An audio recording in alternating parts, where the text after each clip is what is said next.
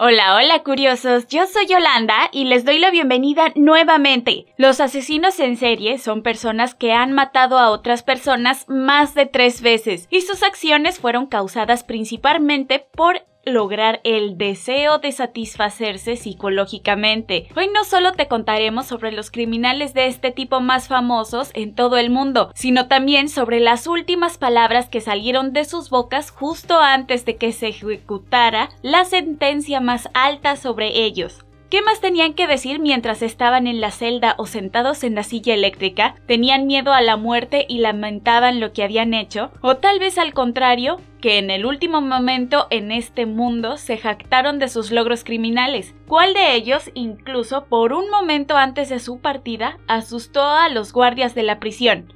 Quédate con nosotros hasta el final para descubrir qué criminales en serie han pronunciado las últimas palabras más impactantes. Pero antes de entrar en este tema, no olvides suscribirte, dar me gusta, hacer clic en las notificaciones para que no te pierdas ninguno de nuestros futuros videos con efecto wow. Pero en la historia de Estados Unidos ha habido muchos más criminales que han cometido una serie de actos crueles. Y sí, el siguiente criminal en serie estadounidense más famoso fue Ted Bundy. Podría conocerse por su increíble historia, pero también sangrienta. En Mean Cruel Evil, protagonizada por Zac Efron, cuando Ted Bundy fue capturado, él mismo admitió haber matado a otras 30 personas y sus víctimas eran principalmente mujeres jóvenes e incluso adolescentes. Además también cometió necrofilia, actos lascivos e incluso logró escapar dos veces de la cárcel y mientras tanto cometer más delitos. Al final no escapó de la pena más alta y el 24 de enero de 1989 se encontraba sentado en la silla eléctrica. Sus últimas palabras antes de su muerte fueron bastante sorprendentes cuando se dirigió a uno de los guardas diciendo, Ojalá mostraras mi amor a mi familia y amigos. Al cabo de un rato, después de decirla, se quedó en silencio para siempre. Continuando, te contaremos sobre John Wayne Gracie, también conocido como el Killer Clown. Este apodo no fue accidental. Antes de ser capturado, el hombre se hizo famoso en Chicago como un hombre extremadamente sociable y participante en numerosos eventos benéficos y fiestas para niños, donde entretenía a los invitados con un disfraz de payaso. Desafortunadamente también conoció ahí a sus víctimas, que eran en su mayoría adolescentes.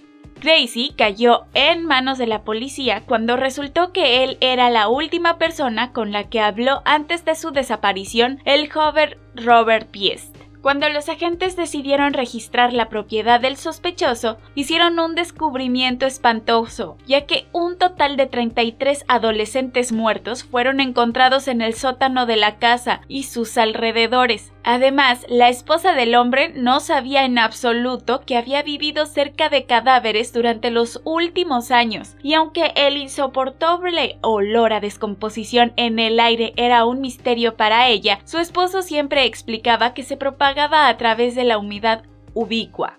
Bueno, finalmente se ha descubierto la verdad y Killer Clown fue llevado ante la justicia, recibió sentencia de privación de la vida y cuando llegó la fecha de su ejecución el 10 de mayo de 1994, condenado como si nada hubiera pasado, antes de recibir la inyección exclamó a los reunidos, y citamos, Bésame en... y aquí probablemente todos puedan adivinar en qué parte del cuerpo se estaba refiriendo. Algunos de ustedes habrán oído hablar de Aileen Wuornos. Gracias a la película Monster de 2003, fue interpretada por la propia Charlize Theron, quien recibió un Oscar por su creación.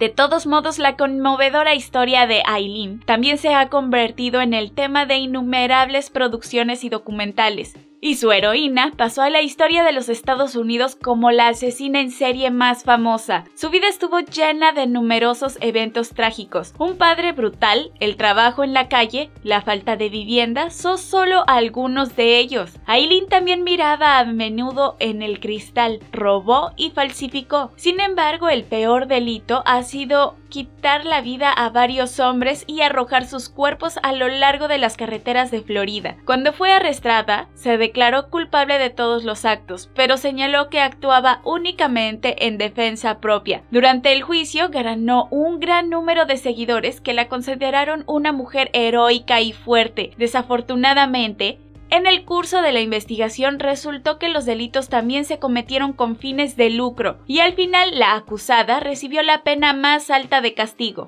Antes de que se realizara, las siguientes palabras salieron de sus labios. Solo me gustaría decir que estoy nadando detrás de la roca y volveré, como el día de la independencia, con Jesús, el 6 de junio, como la película, la gran nave nodriza y todo lo demás. Vuelvo enseguida. La historia de Jeffrey Dahmer demuestra que a menudo no nos damos cuenta de lo que está sucediendo detrás del muro con nuestros vecinos. Un hombre mató a sus víctimas durante años en su propio piso en un bloque de pisos en el corazón de Maliwick. Además, guardaba los restos en un frigorífico o los disolvía en un gran recipiente lleno de productos químicos. Es cierto que los vecinos se quejaron del olor que provenía de su departamento, pero el hombre logró convencerlos de que era olor a carne caducada. Sin embargo, sus acciones salieron a la luz cuando una de sus víctimas escapó milagrosamente de las manos de él y fue detenida por la policía mientras corría por la calle. Después de interrogarla, los oficiales fueron inmediatamente al departamento del señor Dahmer y descubrieron escenas reales como de una película de terror. El dueño fue arrestado y la investigación reveló que había matado a 11 personas. Se encontraron miles de fotos en las que relataba todos sus horribles actos, por lo que finalmente fue condenado a 15 cadenas perpetuas, aunque recibió cadena perpetua, no estuvo demasiado tiempo tras las rejas porque murió a manos de otro preso y en los últimos momentos de su vida solo logró gritar, no me importa si vivo o muero, adelante, hazlo.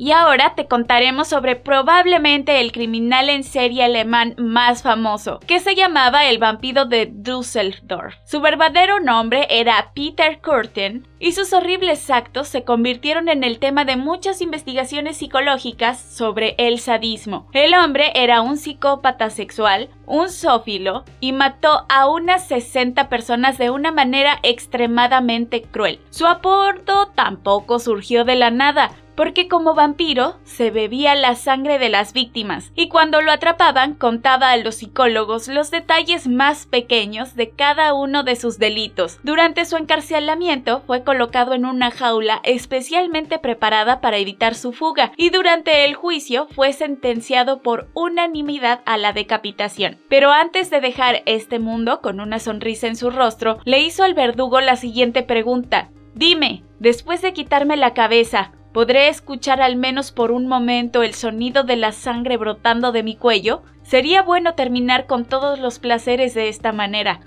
Pasando a la siguiente historia, resulta que las últimas palabras de los criminales a veces también han sido extremadamente divertidas e incluso inspiradoras. Y así, por ejemplo, Thomas J. Raso, condenado a la más alta condena por quitar la vida a varias personas, un momento antes de la inyección de veneno, decidió quejarse de que su última comida no consiguió lo solicitado, que fue una lata de sus espaguetis favoritos. Sus palabras fueron exactamente así. No obtuve espagueti os, solo espaguetis simples. Quiero que la prensa lo sepa. Otro criminal es Gary Gilmore. Por otro lado, cuando se enfrentó a un pelotón de fusilamiento en 1977, gritó a todo pulmón solo dos palabras, hagámoslo. Y dado que su juicio fue muy popular entre ese momento, ya que Gilmore fue la primera persona ejecutada en los Estados Unidos, después de la reintroducción de la pena de muerte en 1976, sus últimas palabras también hicieron historia. Pocas personas se dan cuenta de que después de unos años se convirtieron en la inspiración del icónico eslogan de Nike, que se utilizó por primera vez en un comercial de televisión de esta marca en 1988, y con este acento terminamos el episodio sobre las últimas palabras de los criminales seriales más famosos del mundo. Asegúrate de informarnos si has escuchado hablar de otras citas similares. ¿Te gustaría aprender más historias sobre crímenes?